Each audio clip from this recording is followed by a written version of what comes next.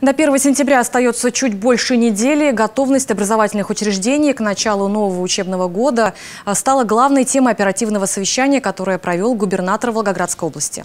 Андрей Бочаров отметил, что межведомственная комиссия сформировала паспорта и подтвердила готовность всех учебных учреждений и детских садов региона к началу нового учебного года.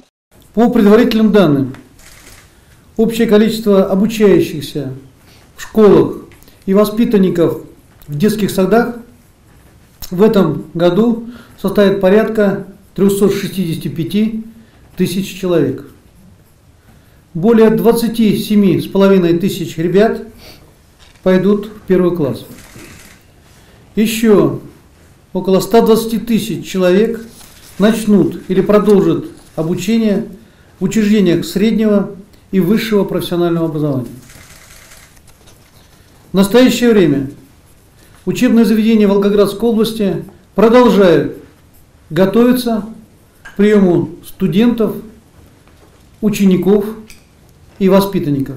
Губернатор поручил взять на особый контроль вопрос обеспечения комплексной безопасности в ходе подготовки и проведения учебного процесса, обратить отдельное внимание на организацию транспортного движения около учебных заведений, особенно в первой неделе с учебного года. Сотрудниками регионального главка МВД ГИБДД проработать вопрос о дополнительных патрулях по маршрутам передвижения детей. С 1 сентября провести в образовательных организациях региона торжественные линейки. В праздничных мероприятиях примут участие руководители органов исполнительной власти и главы органов местного самоуправления.